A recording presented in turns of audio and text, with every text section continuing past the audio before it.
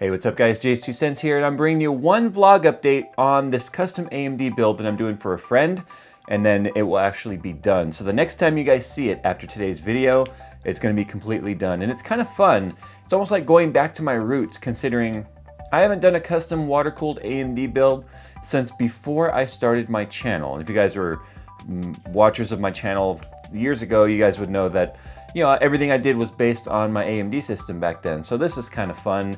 And I figure right now we'll just kind of take a tour. We'll talk about some of the parts, why we chose the parts, and then uh, we'll, we'll get the system done, and then we'll do like a complete review of the system.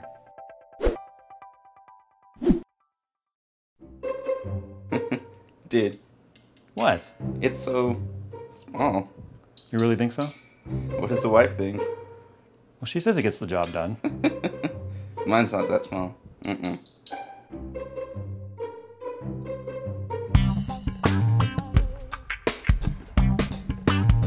The Fractal Design Node 202. It's not about how big it is, but all about how you use it.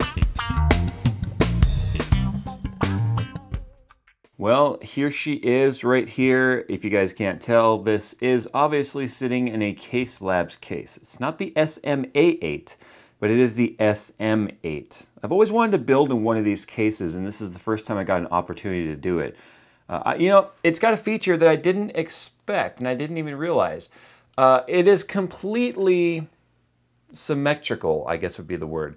What's on the top is exactly what's on the bottom. So you can flip this case over and you can make it an inverted case by simply swapping the bottom and the top pieces, which is only a four screws. So you can see, or it's more than four, but it's only a few screws. But you can see how the grommets and everything are exactly the same. It, it's pretty neat. So it's not one of those cases you have to order necessarily and say, I want it to be a left window, you know, inverted, or a right window inverted, or whatever. You just do it yourself, and you just put instead of putting the feet on the bottom, you put them on the top, and you can see you've got two places to mount the power supply unit. So that's a really neat feature. I didn't even know that when I got the case. All right, so obviously this is an AMD build. We are sitting here in an ASRock 970 Performance uh, motherboard. Some people might frown upon this motherboard because it's not the greatest overclocking board on the planet. That's okay because we're not going for the biggest overclock on the planet. We're going to be going for a pretty, I'd say a modest 4.3 or 4.4 gigahertz 24/7 on this.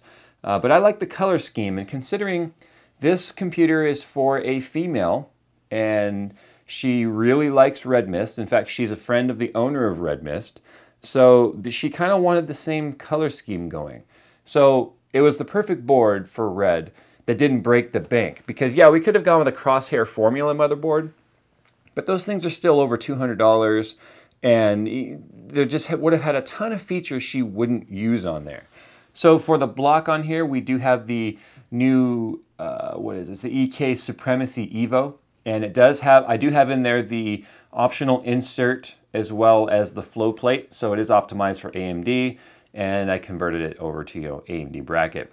And then we've got the Primo Chill white revolver fittings, which is going to be going, you know, with my PETG tubing. You can see I've got it going right there up the wall. And so it's going to be all PETG tubed. Now for the reservoir and pump, you guys know I kind of like to do reservoir pump combos. It keeps things tidy, there's less tubing needed. And in this case right here, uh, you can see that I actually have it you know, mounted up off the ground. It's kind of floating there. And we've got a 250 millimeter bits, Bitspower reservoir. So it is connected right there.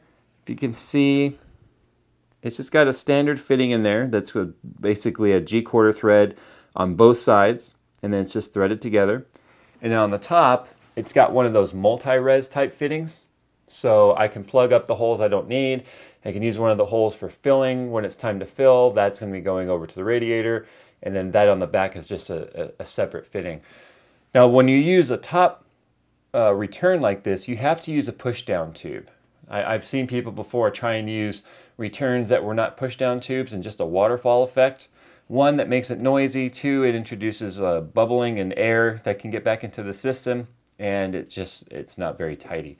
So as long as you keep the fluid level above the return line, then you're good. It'll always return down into the fluid, and then the air will make its way to the top. For radiator, I am using an EK Uh, this is one of the XT, I believe it's an XT rad. It's one of the big rads, uh, 45 millimeters thick. Only has one set of inlets and outlets right here on the left.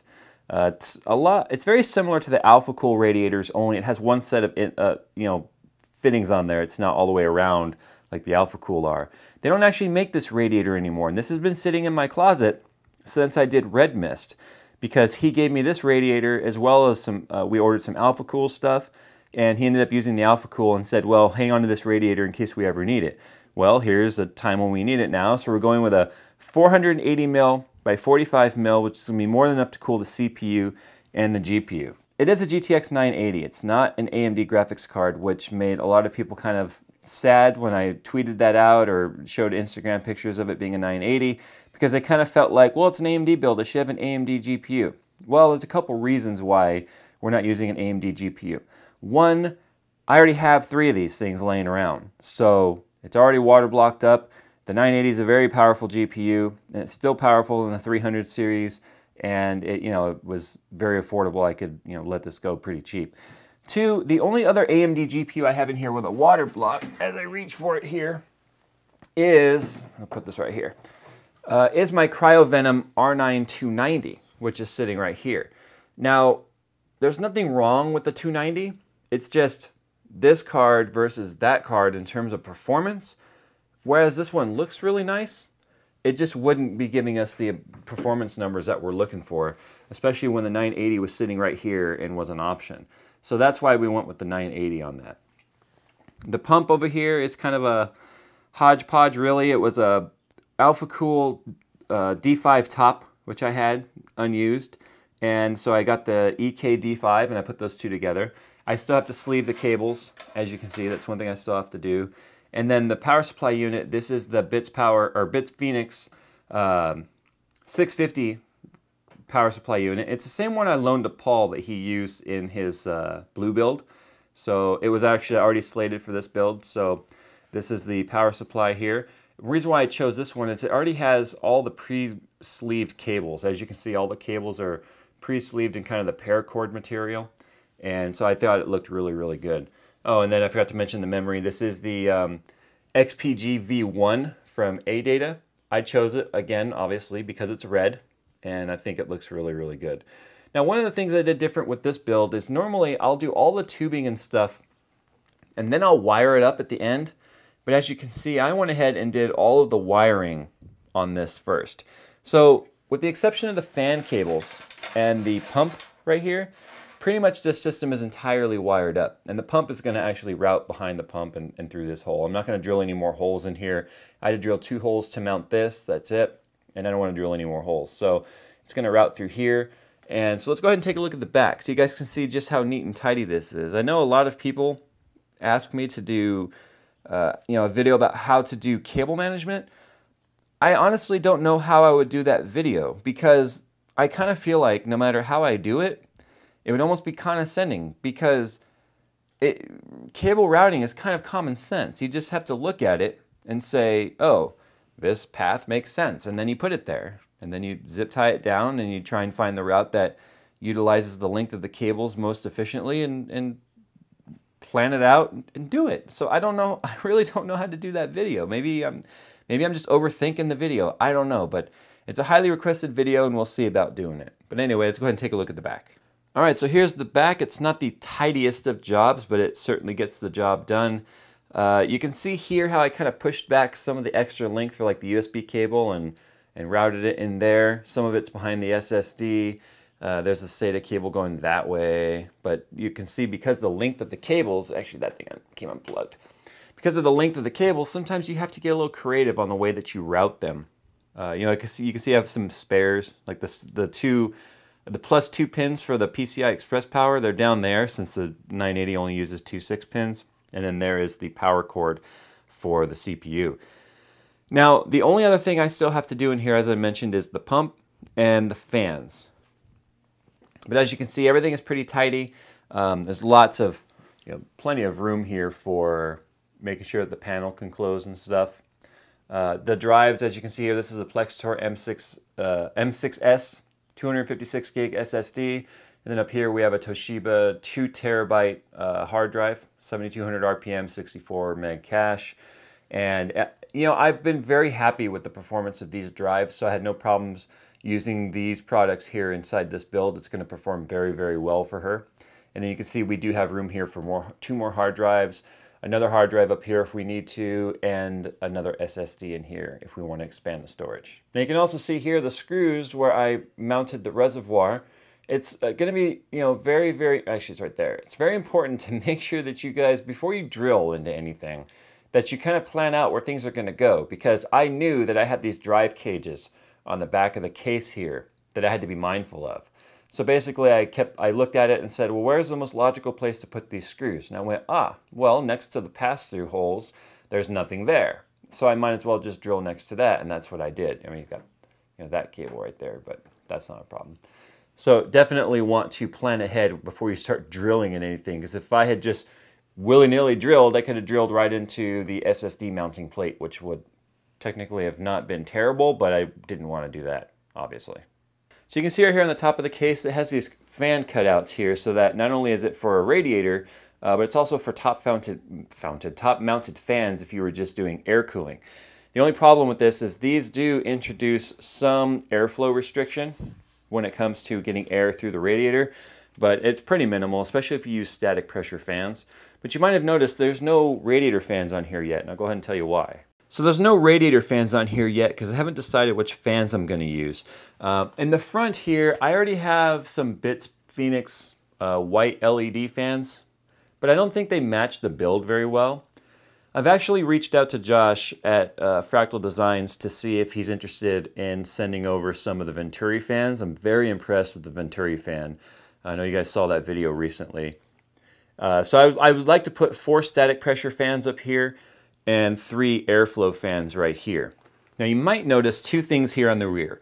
One, it looks like there's a big giant hole where the power supply would go behind the radiator. Uh, the block off plate, I just haven't reinstalled it yet because I want to have easy access to getting to those fittings. And as you can see, by leaving that off, I have a pretty easy access to getting to those fittings to tighten up, you know, the PETG tubing when, uh, when I'm ready. So I can get into it from behind, I can get into it from the side.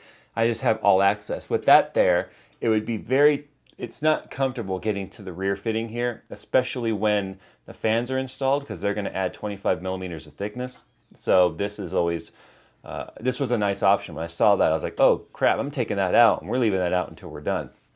You might also noticed uh, I used the block off plate back here for the rear fan. The reason for that is we're not going to put a rear exhaust fan on this thing. Now, those that are astute will already know why I'm doing that. But those who are here watching this video to learn, uh, I'm going to tell you right now why.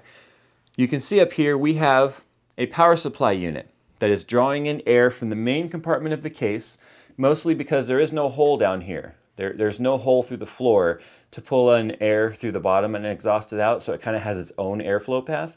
So it has to take air from the inside of the case. So this is an exhaust.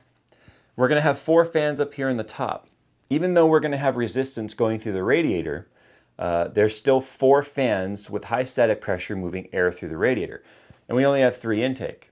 Now, yeah, I can balance the airflow by slowing down the radiator fans and speeding up the intake fans so that these three fans are making up the airflow, uh, more airflow than the rear or the top exhaust for the radiator and give myself positive airflow. But because I have one, two, three, four, five 120 millimeters worth of exhausting and only three 120 millimeters worth of intake, I would have to slow down the radiator fans quite a bit, uh, more than I want to, in order to keep positive pressure in this case. And we want positive pressure so we don't pull dust in through all the other vents and things. So I'm going to be looking at getting airflow fans. Like I said, I want the Venturis if I can get my hands on them in the front here. So I have nice airflow with a quiet and lower RPM and then I can run like 50 or 60% speed on the radiator and keep positive pressure. And I put in the back block off plate in the back just to try and help keep positive pressure where I can. Even though, you know, we have these vents up here and this vent back here, it shouldn't be too hard. We're actually going to force the airflow to go like this. You know, it's going to come in the front and it's going to go up. That's the idea. So anyway, that's where we are so far in the AMD build. And next time we see it, uh, this thing will be done and running. And of course, it's going to have red fluid because, you know, Project Red Mist and all. Anyway, guys, I'm to go ahead and get the heck on out of here. Uh, thanks for watching. Next time you see it, it will be completely built. And when this system is done, then I can get started on my LAN rig, the, the white and green LAN rig I talked about doing. And I still haven't decided which GPU I'm gonna put in that. I might put one of the 980s. I also have water blocks and stuff for either a Titan or a 980 Ti. I might put one of those in there. I just haven't exactly decided yet. Sometimes having choice and actually having the freedom of choice makes things a lot more complicated. I liked when I just had to buy whatever I could afford because that was so much easier to figure out. Yeah, first world problems, I know.